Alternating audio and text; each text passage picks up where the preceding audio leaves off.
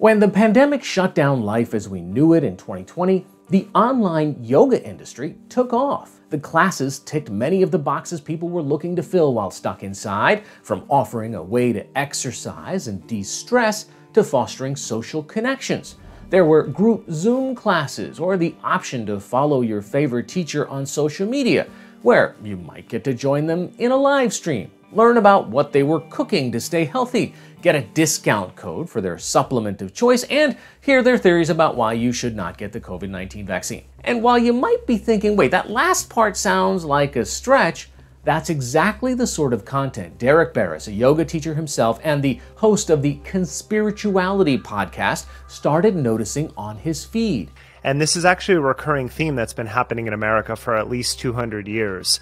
But usually it has an uptick during times of um, great distress, like the pandemic. And that's when we started the podcast because we noticed a real uptick in the anti vaccination rhetoric that was happening, as well as a lot of weird merging between the QAnon far right activism side and then people in the wellness community. It's really driven by the platforms. It's why we say that we think conspirituality in a lot of ways represents the first real online religion that's occurring. And I think there's a real indoctrination process that we're going to have to grapple with moving forward in the years and decades to come.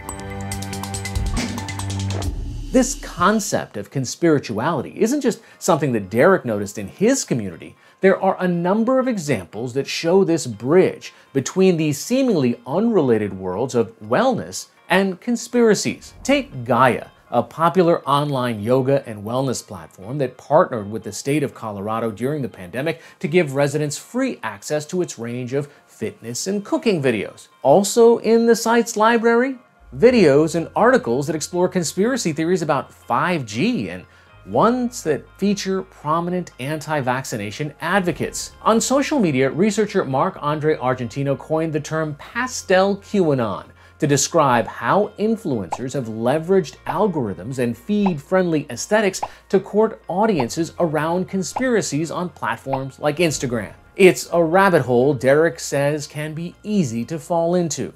Think of someone who maybe suffers from anxiety or depression and maybe you've been put on a pill or a script and it didn't work for you and you didn't have access to a psychiatrist or any real help. And then you stumble across a wellness influencer who starts saying things that are influenced by, say, A Course in Miracles, like the idea that you are your own best doctor, that anything that happens to you is up to you. And so if you think differently about your mental health, you will then change your mental health, which also tracks very well with the bootstraps mentality, the right leaning sovereignty. And so you start following this influencer, and they're selling a Zoom workshop, they're selling a book, they're selling their supplements that are saying, hey, these can help cure your depression. And so that's how people get indoctrinated into the pipeline. What are the dots that get someone from an idea of anti vaccine, connect that to, to yoga or from 5G to what we're talking about? From my research, what I feel is that they're connected in this sense of hyper individualism. So, on the right side, you have this idea that the government should have no say at all in your lives, keep them out of our lives. There's this idea of sovereignty that has long been persistent on the right. And then on the left, the themes are similar, even if the language is different. So, having worked in the yoga space for so long, the idea that you are your own doctor, you know better than anyone else. These are ideas that have been chronic in this industry for decades. But what we're seeing now, specific to vaccines, is that it's gone from don't trust the COVID vaccine to do not trust any vaccines at all, which obviously has detrimental effects on public health in so many different ways.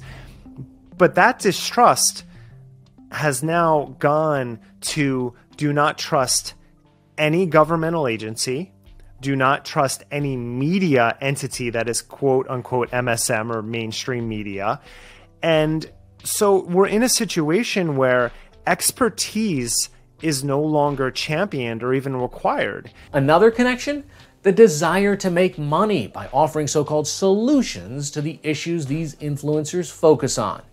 Which is why you might see a yoga teacher in Los Angeles hawking a similar supplement to, say, Alex Jones, who's become rich off of selling unregulated pills and powders, as recently came up when he was on trial for defamation. Supplements is one of the big ones. That's long been a driver of the wellness industry.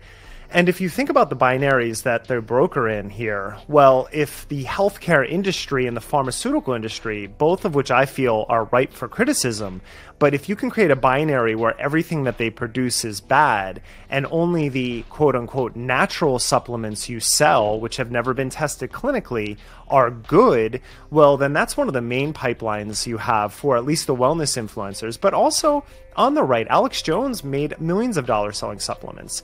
So that there are other right-leaning influencers who have also sold protein powders and survival kits. So this idea of wellness has, has always been spread across uh, all the political leanings. I also saw breath workshops because since COVID is a respiratory disease, some yoga instructors were saying, well, if you're breathing properly, it shouldn't affect you. Um, there's also yoga meditation workshops. Some people were promoting the idea that meditation will help you to overcome the symptoms of COVID, which of course there's no proof for. And then there's books. Uh, so there's been some bestsellers that have sold that are anti-vaccine, but have reached the top of Amazon bestsellers lists. So there, there really is no end to the ways that people have been monetizing this, this fever dream. To keep their followers coming back for more, Derek says you'll often see these influencers peddling heightened conspiracies or societal threats, and then recommending courses, products, or conferences to address this new challenge. It happens often enough that he started to use it as a sort of litmus test to gauge an influencer's credibility if they're saying a message and then selling something that is in accord with that message, even if it's going against public health, well, they probably have an agenda. So I always say on the podcast, watch what they say and then watch what they sell. And that'll give you a good insight into whether they're being honest with the information or not. What is your advice for someone when they see a piece of misinformation or disinformation like this in their social feed? You're not going to change that random avatar on Twitter that doesn't have a name. You're not going to change those minds. And if you're getting frustrated or upset or angry by them, it's only going to affect you negatively, and that's not worth it. So, the people that you really care about in life, stay in touch with them, do your best to provide good information, do your best not to engage in a ground war. Don't try to make them feel stupid. Don't try to make yourself look smarter than them, but actually engage in a good faith conversation. So there's nothing wrong with taking that online yoga class or downloading a meditation app. Just be sure to apply the same fact checking standards to claims made in these spaces that you would anywhere else on social media. And if you find yourself served some hashtag wellness content, there's always Derek's test watch what they say, then watch what they sell to give you a gut check before buying into anything. Until next time, I'm Hari Srinivasan, and this is Take on Fake. Thanks for watching.